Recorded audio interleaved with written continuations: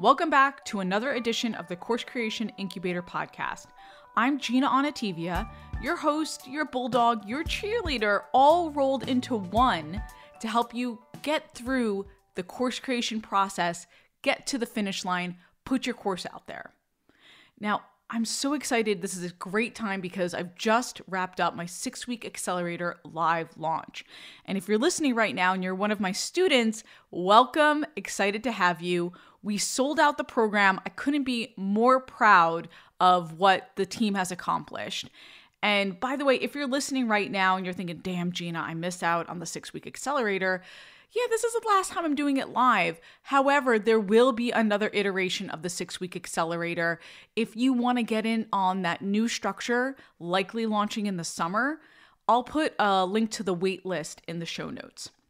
Now, the awesome thing about launching, about live launching, is how many people you get to connect with, how many potential students, that you get to hear their stories. And for me, all about their courses. So I get to connect with so many potential course creators who are ready to put themselves out there and put something on the line. And I love hearing everyone's different missions and ideas. And it gets me excited. It inspires me. So, one of the things I want to talk about in this podcast is one aspect, one element of this launch that I think really made the difference in filling up this group, and that's making it personal. Now, my mentor, my client, my friend, my storytelling coach, Bo Eason, talks about this all the time. There's power in making it personal, especially when you're sharing your story. There's real power in when you're talking up your program to someone and making it personal and specific for that student. Because when it comes down to it, well, we got to hear about ourselves, right? There's nothing like hearing your own name, and making it personal makes it meaningful for them. There's power and impact in that, and they can see how to apply your course and program specifically to them. It's important that that light bulb goes off for them because a lot of times when somebody's thinking about buying your course or your program, they're thinking, is this right for me? They're trying to see themselves in it.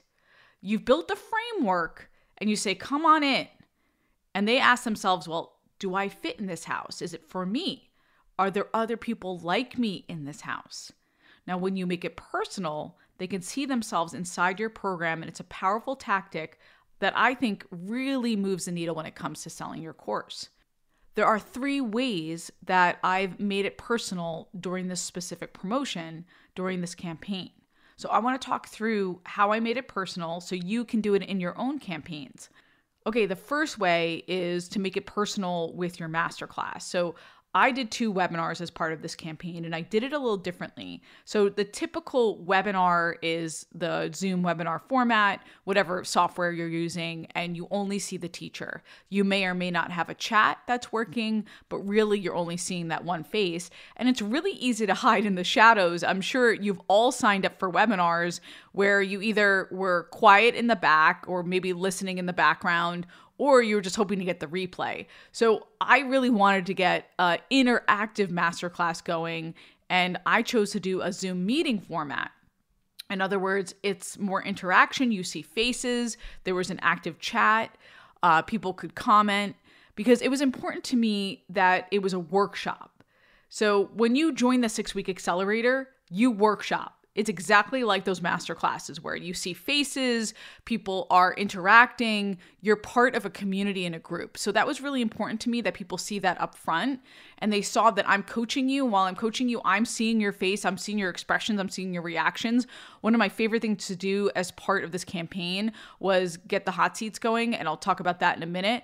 But then when the hot seats were going, talking to people face to face over Zoom and seeing their expressions and seeing their reactions and the ahas that were happening at the time, or the questions, the puzzling faces that were happening at the time, too. Like, to me, that's priceless because they get to see that interaction with me as a coach. And then I get to feed off them and their energy in terms of what they want to do as course creators. Now, some people might not like that format. You, as a course creator, might just want to offer a Zoom webinar. You say, Gina, I'm really a lecture style type person. That's okay. But this is an extension of my brand. I want to make it personal by seeing your face and making it like that workshop kind of feel, which I mentioned earlier. So that's up to you whether you want to make it a workshop versus a, a typical webinar. All right, the second way I make it more personal is I ask for those hot seats, which I just mentioned a minute ago. I say, fill out the application so I can coach you in the moment. Give me your biggest question about course creation, and I'll make it applicable specifically for you for your situation. And I got some really damn good hot seats this time. And the applications, in terms of people who were worried about pricing strategy, or they had fears they wouldn't sell, or they just didn't know where to start, and they laid it all out for me as part of these applications. And also, what I loved about these hot seats is if you're listening right now and you're part of my community, you guys already have an idea of what you want to do with your course creation. I don't need to tell you what an online course is or where to go. Many of you already had some really solid ideas, and it was just a matter of unlocking a little piece to get you unstuck and moving forward. So I did these hot seats and I answered these questions, and you can't get more personal than that, right? So I taught a little bit in the masterclass, and then I went to these hot seats to workshop specific course creation scenarios. Now, well, what's the benefit of that? Well, one, they get that personal feedback right in the moment. And then two, everyone else listening gets to hear, ah, okay, this is how maybe I should approach my price point. This is how I should approach my benefit statements. Oh, this is how I should validate my offer a little bit. Everybody gets to hear that and go through that additional coaching. So think about that. Think about how you can offer that coaching component to whatever you're doing in terms of your promotion. Because think about it, there are a lot of coaches out there, and most, I don't know most, many don't offer free coaching. So this will make you stand out. It makes it easier for students to say yes to your course because they've seen or experienced your coaching style and they'll feel more comfortable making that commitment. And also, lastly, you're already offering incredible value. So whether they buy or not, they're walking away with a great experience, and most likely they'll share that with others. And by the way, a lot of the hot seats ended up buying.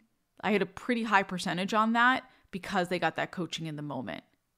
Okay, the third way I make it personal is I offer to make videos. If anybody has a question in the emails that I'm sending out, I give a PS, hey, if you're on the fence, you have a question, reply to this email and I'll make you a video. I was making a series of videos for the launch because I know what this is about. People are saying, well, I just want to make sure the program is right for me. Everyone, again, wants to make sure that the house is a fit. They walk in, they see the furniture. Is it comfy? Is it the kind they like? Are they going to be able to eat the food in the pantry and feel comfortable? They want to make sure they're a fit. And I want to make sure that they feel good about that. And by the way, I did get some people emailing me and they weren't a fit. They were either further down the road or they already had a course or they weren't quite there yet. And I love saying to people, that's okay. I'd love to work with you in the future, but you're not quite there or the accelerator is not quite right for you. Either way, by answering their questions, I get to let them know that it's right for them or it's not. So there's resolution there. And while I know you all want more students, we also want the right students, the students who are going to get outstanding results from your course. So, this is a good service to potential buyers, but it's also building your business as a course creator because people you know have integrity that they can trust you, and your students are more likely to get those great results, which will continue to build your business because you're saying yes to those who are a great fit. Another way that I offer some feedback is I say you can hit me up on chat. So if you went to the sales page at all in the lower right, there's an icon and you click on that. And I use Drift. I use a free version of Drift, and people can text with me one on one. They can message with me in the moment. And I love having Drift. Like, I think that's a must when you're doing any kind of promotion to give people that feedback form to catch you in the moment. Hopefully, this was helpful to you and you think about ways to make your own campaigns a little more personal, whether it's one through making your masterclasses a little more personal or two, doing a hot seat and coaching in the moment, or three, offering those videos for feedback and also having a chat function on your page.